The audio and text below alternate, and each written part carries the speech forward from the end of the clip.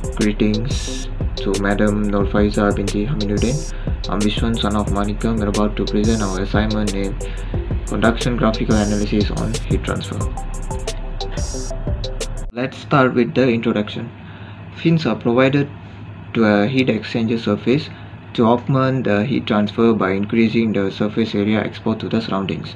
Fins are thus used whenever the available surface area is found insufficient to transfer required quantity of heat with available temperature gradient and heat transfer coefficient.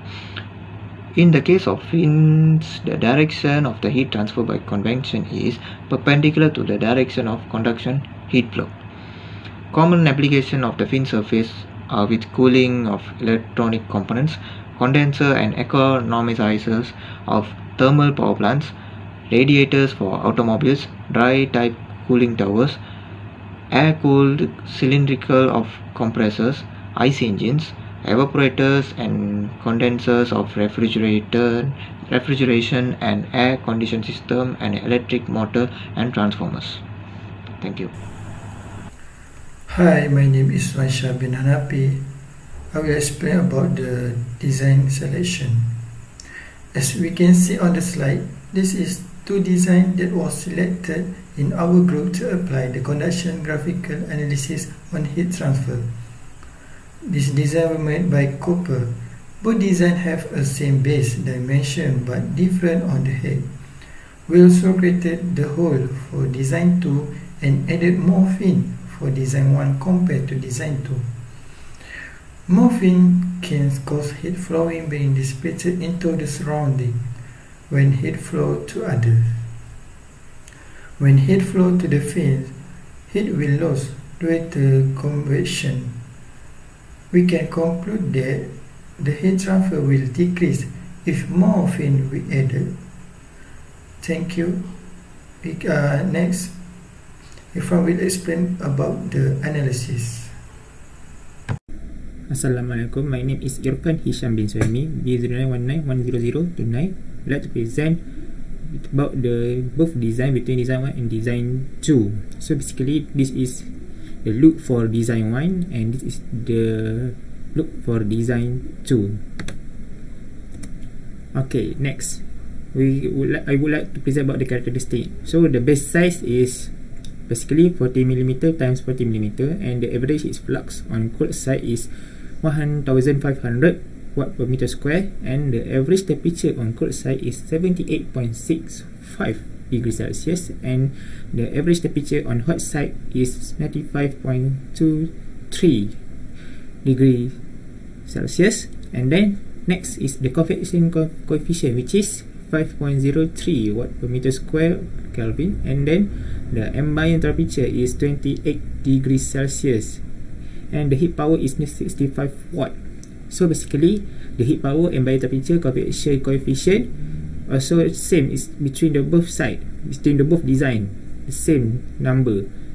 Okay and then next I would like to present about the temperature range.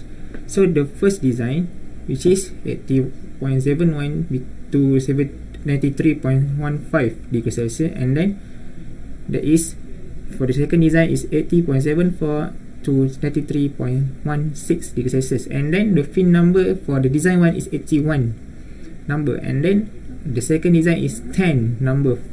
And then the fin type for the first design is tube tube type. And then the second design is plate type.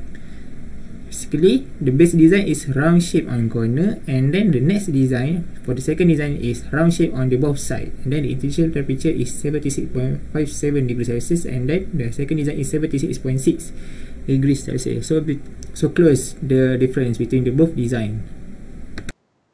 Okay uh, my name is Muhammad Abdullah bin Subahar uh, now I will present about uh, discussion okay? Uh, the first discussion is the, temperature range for design 1 is lower compared to design 2. And second is the fin number for design 1 is 81, higher compared to design 2 which is just 10. The fin is increased the effective area of surface, uh, thereby increasing the heat transfer by convection. Uh, the fin type for design 1 is tube. Fin tube are the main component uh, of heat exchanger. They are a series of tube where fin has been added on the outside to increase the contact area with the outside fluid to extend the tip between the fluid inside the tube and the fluid outside the tube. Whereas, uh, the fin type for design tube is plate. A plate exchanger uh, consists of a series of parallel plates that are placed one above or and the other side to to allow the deformation of a series channel for fluid to flow between them. The space between two adjacent plates form the channel in which the fluid flows. And lastly, the final temperature for design 1 is lower compared to design 2. Uh, as of today, based on my good analysis, design 1 is the best to be installed in a laptop. For, uh, from our analysis, we also that pin in design 1 is better because pin tube are the main component of heat exchanger. There are a series of tube where spring has been added uh, on the outside to increase the contact area with the outside fluid to exchange it and between the fluid inside the tube and fluid outside the tube. Lastly, we conclude the main factor the, to improve the to improve is the pin type, shape and size. This factor will improve the system to cool down components in laptop.